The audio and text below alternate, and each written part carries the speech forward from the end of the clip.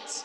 We are at a church and we have the healer, and you are like over the top. It's like, hallelujah. You are gonna walk again. Ah, and screaming, yes?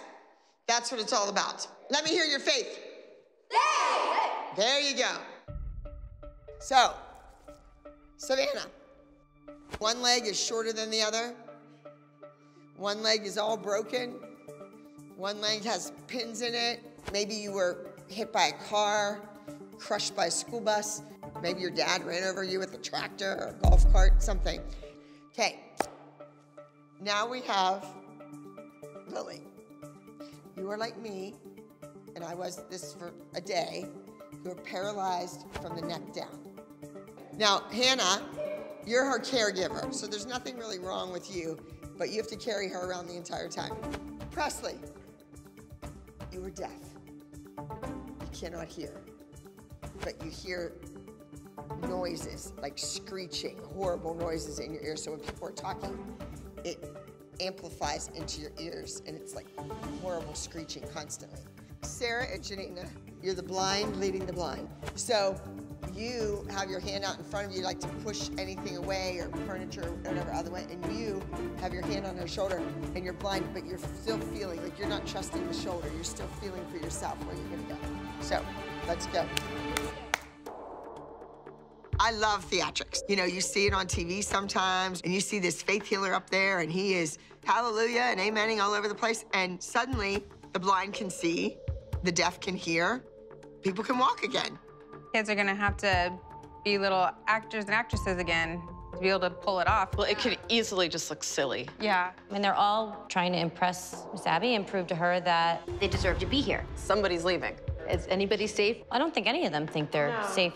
What, what, what is that? What are you doing? Just because you're blind doesn't mean you have to be angry and flex foot all the time. Okay, uh, put, put your hands.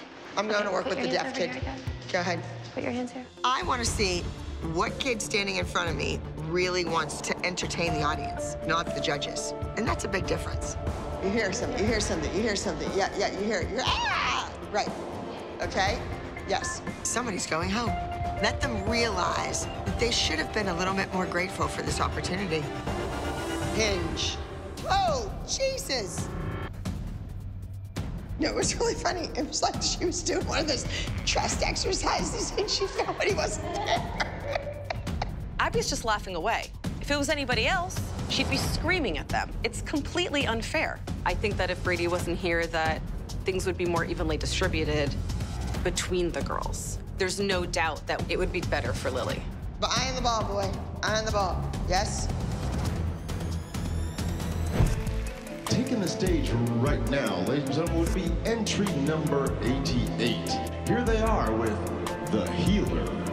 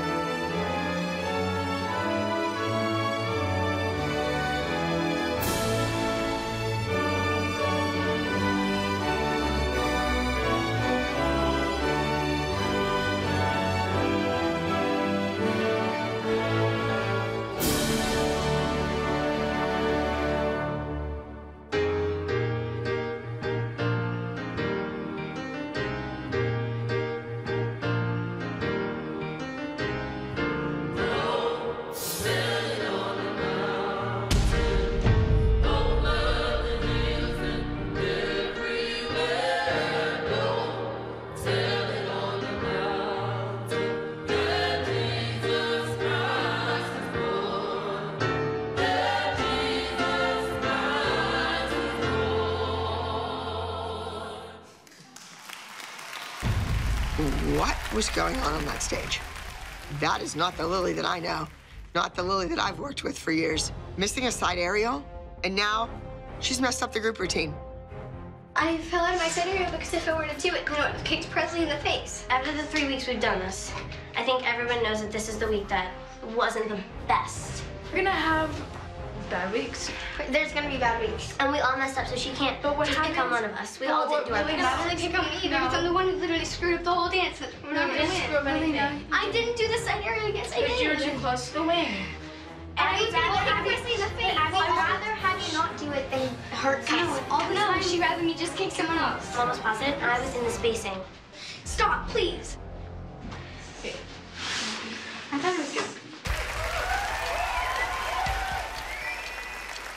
Are ready for the awards ceremony. Moving now into our top group. I'm not sure about the healer winning.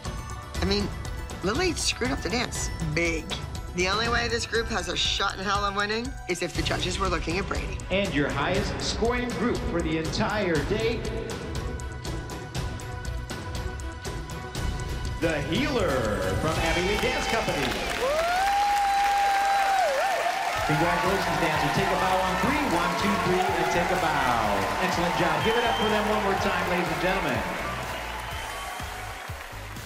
Well, it's a good thing that I changed the bad side side aerial on Brady to go all the way over to stage left so that nobody saw Lilly over on stage right. So we should all thank Brady.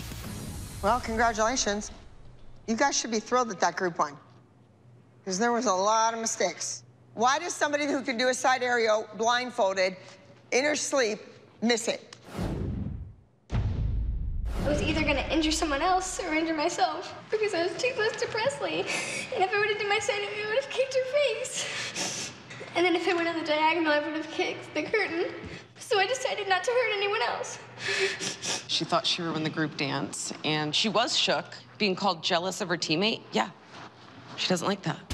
Lilly, I didn't call you jealous. I didn't. Well, I didn't. Abby did because you guys kept talking about it. So then Abby thought that I was jealous, and I wasn't. And it got really annoying.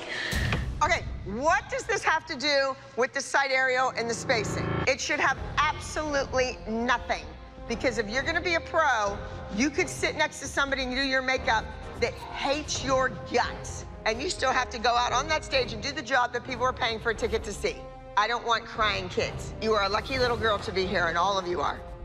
So this crap has to stop. If it's gonna rattle you that much, something that I said or I did or blah, blah, blah, blah, blah, blah, blah, either A, toughen up, B, let it go in one ear and out the other, or C, you're not cut out for this. Kids, out of the room, right now. Going out with Lilly. Go out. Go, go out the door. Go on. Go on, out the door. Okay, we'll get that later. We'll get you in a sec. People thrive on somebody else being upset and somebody else having their feelings hurt. You all know that. But the carrying on and the crying and the chaos, when I hear all this crap going on, that's when I have to rethink the casting. And I don't know if everybody really belongs on this team. These mothers are such fools.